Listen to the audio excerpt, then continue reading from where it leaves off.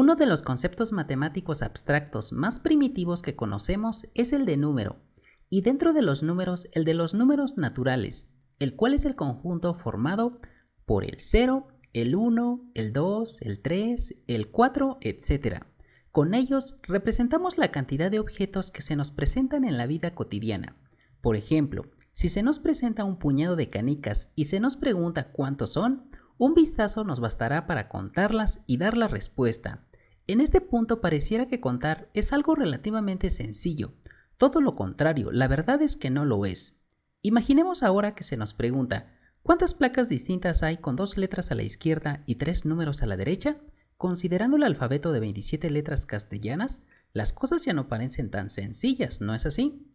De ahí la importancia de aprender algunas técnicas de conteo, las cuales nos permitan obtener el resultado de una forma relativamente más sencilla y directa, sin la necesidad de enumerar todas las posibles opciones. Y es justo ahí donde hace su aparición el principio de multiplicación, también conocido como el principio fundamental del conteo, este principio afirma que si una cierta tarea puede realizarse de m maneras diferentes y para cada una de esas formas una segunda tarea puede realizarse de n maneras distintas, entonces las dos tareas juntas pueden realizarse en ese orden de m por n formas diferentes. Permítanme leer nuevamente este principio. Si una cierta tarea puede realizarse de m maneras diferentes y para cada una de esas formas una segunda tarea puede realizarse de n maneras distintas, entonces las dos tareas juntas pueden realizarse en ese orden de m por n formas diferentes. Bueno, antes de ver cómo aplicar este principio para solucionar algunos problemas básicos de conteo, quisiera que vieran su demostración, es decir, la serie de argumentos que hay detrás de esta proposición, las cuales demuestran su veracidad. Recordemos que tenemos dos tareas. La primera tarea se puede realizar de m maneras diferentes y para cada una de estas formas, la segunda tarea se puede realizar de n maneras distintas.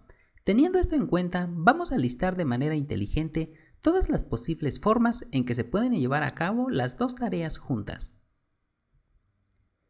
Entonces, cada posible resultado lo vamos a representar como un vector de la forma i, j, donde i representa la yésima forma en que puede realizarse la tarea 1 y j representa la jésima forma en que puede realizarse la segunda tarea.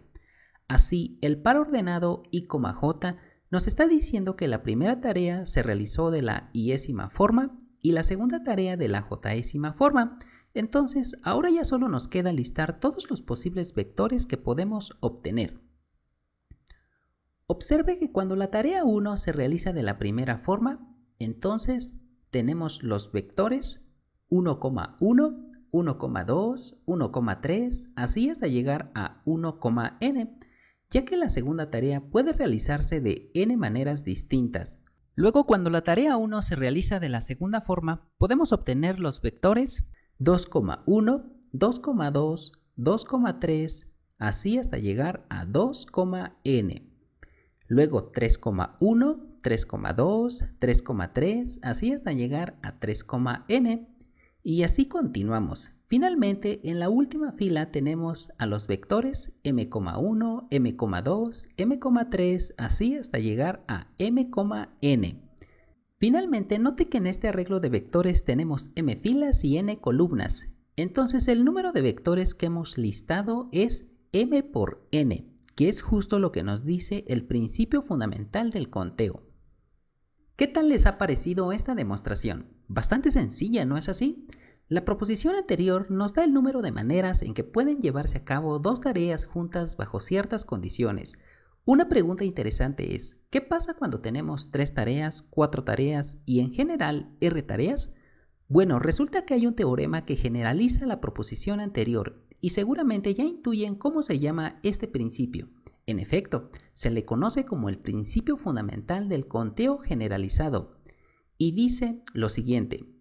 Si R tareas serán realizadas y son tales que la primera tarea puede resultar de N1 formas diferentes y para cada una de estas formas la segunda tarea puede resultar de N2 formas diferentes y para cada una de esas formas la tercera tarea puede ocurrir de n3 formas diferentes y así sucesivamente, entonces las R tareas pueden realizarse juntas en ese orden de n1 por n2 por así hasta llegar a por nr formas diferentes. La demostración de esta proposición es algo que no daremos aquí, ya que es similar a la que dimos anteriormente, solo que ahora en vez de considerar vectores de dos entradas, hay que considerar vectores de r entradas. Creo que con lo que hemos dado de teoría hasta el momento es más que suficiente para resolver algunos problemas básicos de conteo. Entonces, sin más, pasemos a la parte de los ejercicios.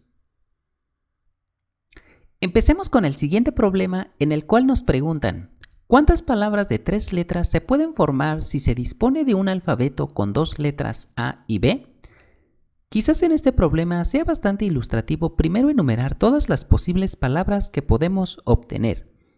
Entonces, haciendo esto, nos queda la palabra A, A, A, A, A, B, A, B, A, B, A, A, A, B, B, B, A, B, B, B, A y finalmente B, B, B. Entonces, el número buscado es 8. Como podemos observar, listar todas las posibles opciones en este problema no requirió un gran esfuerzo, dado que el número total que es 8 es un número pequeño.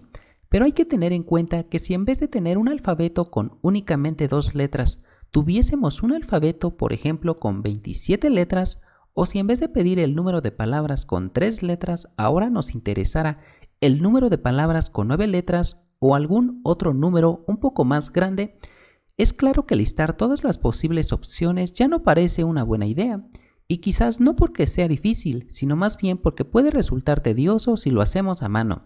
Entonces, veamos cómo podemos resolverlo sin la necesidad de enumerar todas las posibles opciones utilizando el principio fundamental del conteo, que es precisamente el tema en cuestión.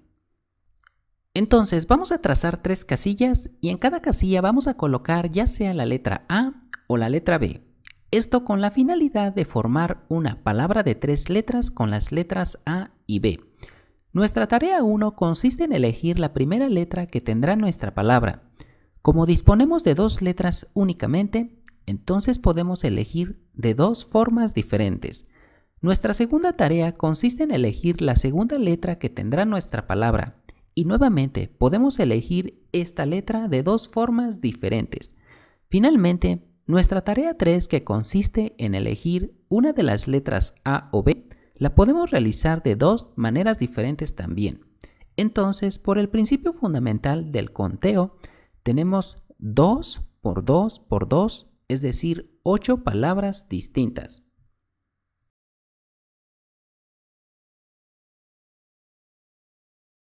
En una pequeña ciudad hay 10 mujeres y cada una de ellas tiene 3 hijos.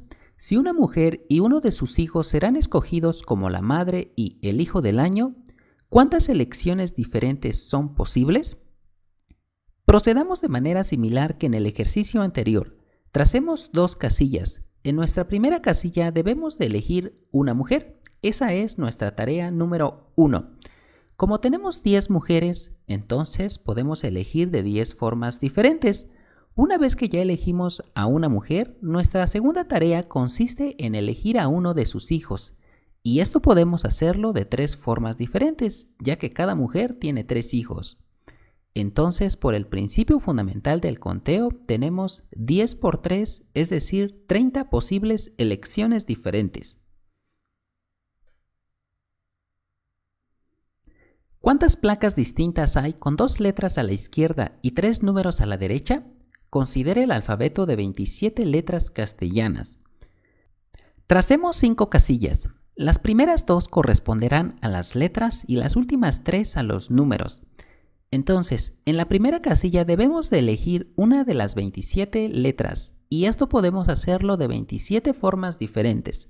Luego, para la casilla número 2, podemos elegir nuevamente de 27 maneras diferentes, en la casilla 3 debemos de elegir un número entero mayor o igual que 0 y menor o igual que 9, por lo cual podemos elegir de 10 formas diferentes. Y lo mismo sucede para las casillas 4 y 5. Entonces, por el principio fundamental del conteo, tenemos 27 por 27 por 10 por 10 por 10, es decir, 729.000 placas distintas.